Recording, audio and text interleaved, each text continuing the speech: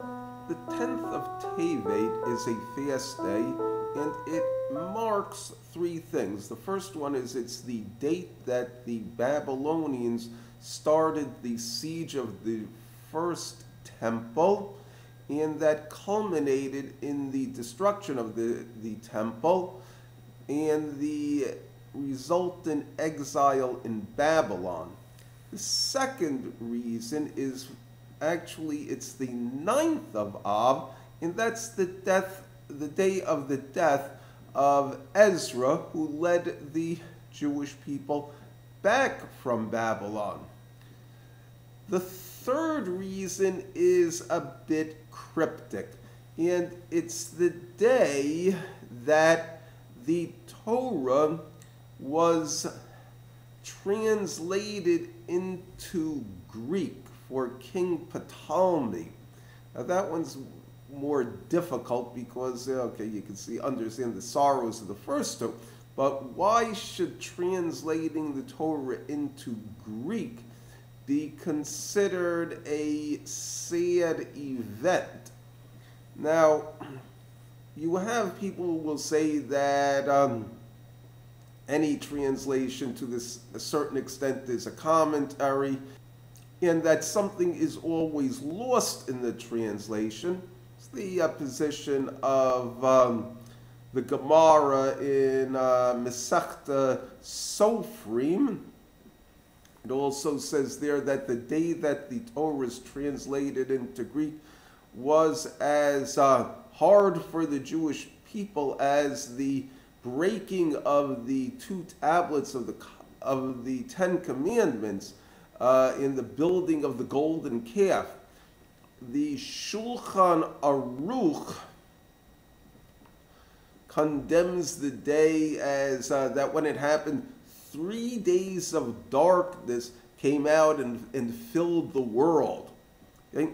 The story of the translation is, um, is told in Masechtas um, Megillah, and it's part of a wider uh, discussion about translating Sifrei Kodesh. And um, you have a machlokus there with some saying they can be translated into all, all languages. That's the, uh, the Mishnah itself, the, the Tanna Kamma. The second one is Rabbi Shimon ben Gamliel, who says really it can only be translated into Greek. Uh, the basic idea is that the Greek language is the only foreign language that the that it's fitting that the Torah should be translated into. You also have other translations of the Torah that are widely used in the beis midrash, uh, specifically the Targum Onkelos and the Targum Yonasan. In addition to that, you have uh, Rashi on um, where he's talking about um, Moshe in the beginning of Sefer Devarim, that he explained the Torah, and Rashi said he explained it in 70 languages.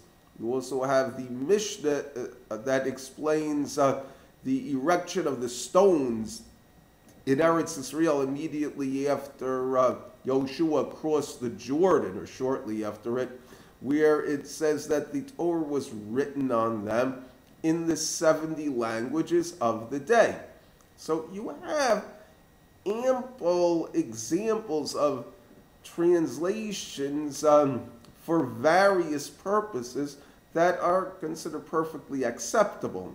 The difficulty with the um, translation into Greek, it, it originally was reckoned actually as a miracle in that Ptolemy uh, requested uh, 70 or 72 uh, wise men from Israel, and he put them into rooms, and he said, all of you write, uh, uh, translate the Sefer Torah in, into Greek, and they all they all translated in the same way, and even more miraculous, they all made certain changes that were of things that would be confused, and in in order to basically preserve the fundamental message of the Torah, they all made the same changes.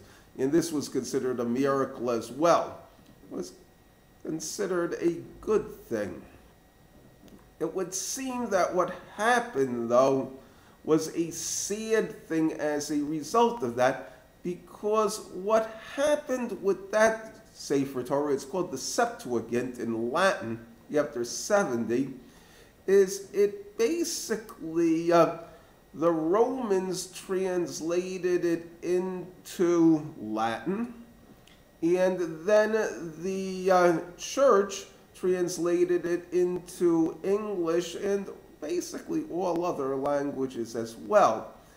And what happened is that the, say, the, the translation of the Torah in the hands of the Europeans was considered the true Torah, and the Torah in Lashon HaKodesh, the, the sacred language, Hebrew, was kind, was not really considered the true Torah. And what happened in addition to that is that the Europeans began to claim that the mission of being a nation of priests was lost by the Jews because of their many sins and had been given over to the Europeans. And part of the proof was that the, if you wanted to learn the, the, the Bible, the, the Tanakh, they had translated really all into Greek and all into all languages. You had to learn it from them.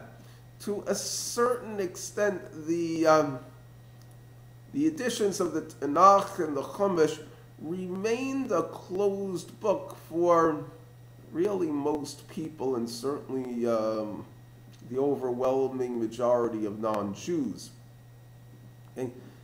Now, it did create a certain number of difficulties because basically, if someone is going to um, be a nation of priests according to the, the Torah, uh, it's basically a totalitarian doctrine. Uh, the, the Chumash will tell you that every uh, detailed laws on the way you're supposed to conduct your your life, including uh, how you're to think and what you're supposed to believe and how you're supposed to feel, and even mundane details, which shoe to put on first, which shoe to tie first.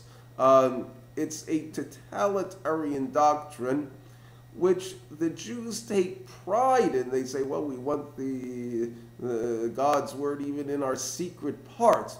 Uh, but for the Europeans, they say this really is a bit much. Okay? It has been rectified to a certain extent in recent years. Um, we are, um, Lashon HaKodesh has become more widely understood. You've had uh, translations of the Torah into at least English that have been very, uh, very popular as, ver- as well as very lucid. Uh, so, as I said, the, the situation has been to a certain extent rectified, but it's uh, the Jews have a little bit of a distance to go before they can be truly called the people of the book. Thank you.